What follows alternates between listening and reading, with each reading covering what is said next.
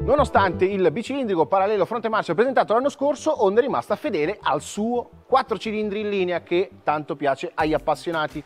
Rimangono a listino e si rinnovano profondamente sia la versione Naked CB650R sia la versione sportiva stradale CBR 650R. Cambiano un po' il design, ancora più moderno per la uh, Naked, ancora più sportivo per la versione carenata.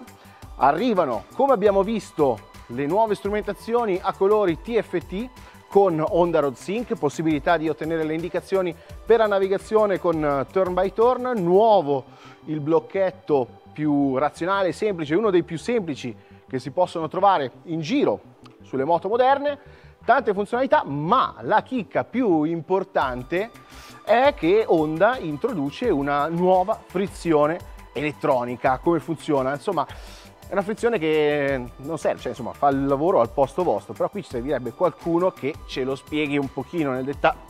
Così, lei è di Honda per caso? Sì. Ecco, ce lo spiega Costantino Paolacci Salve. che ci racconta un po' nel dettaglio questa grande novità di Honda. Passavo qui per caso. Passavo qui per eh caso, sì. eh sì, eravamo stand Honda, chissà mai lei è di Honda. Eh.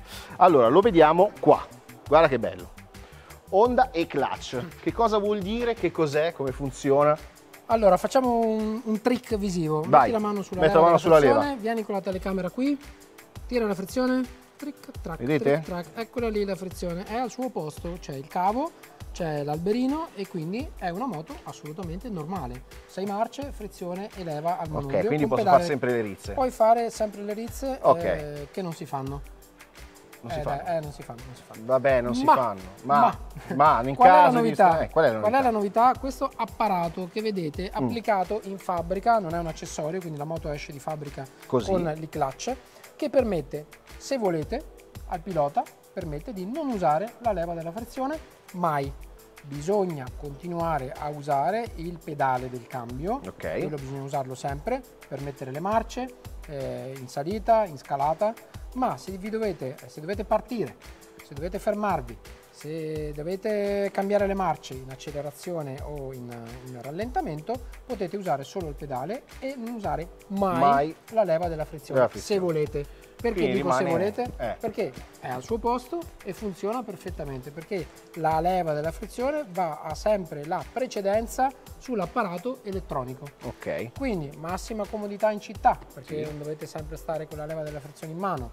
Se volete guidare in maniera sportiva, alla fine funziona come un quick shifter, mm. ma meglio, mm. perché il quick shifter ti permette di mettere la marcia solo in accelerazione mm. e tendenzialmente anche ad un regime un po' alto perché per funzionare bene il quick shifter bisogna Beh, girare un sì. po' alto vi permette di scalare solo a gas chiuso il quick sì. shifter ok L'e-clutch cosa ti permette di fare? Che se tu sei magari in quinta e stai accelerando, ti rendi conto che vuoi più, più spinta, cosa fai? Ti butti dentro una marcia, scali e, e ti dà l'accelerazione la, di una marcia inferiore, cosa che il quick shifter non ti permette di fare. Esatto. Adesso tu però mi stai chiedendo, eh, faccio da solo, sto chiedendo, Danilo, eh, sì. eh, cos'ha in comune con un DCT? Eh, cos'ha in comune con un DCT Costa? Bravo, ci avevo eh, pensato anch'io.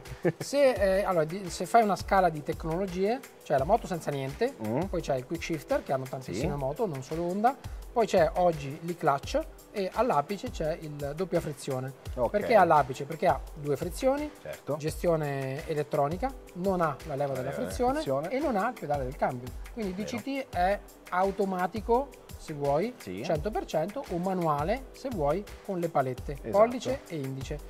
Quindi il DCT è più complesso, è più costoso, la forbice di prezzo è, è più circa pesante. più pesante, sono eh, 10 kg abbondanti, questo 2 kg soltanto. Ecco. E, e, il prezzo sarà di qualche centinaio di euro superiore alla versione senza. Ecco, qui hai detto una cosa importante, entrambe le moto saranno disponibili sia con la nuova e-clutch sia in versione tradizionale se volete continuare a rimanere nella preistoria. È così. Continuate a seguire i video live da Honda qui su Motorbox sul nostro canale. Grazie Costa, eh. continua pure la passeggiata. Ciao. Ciao.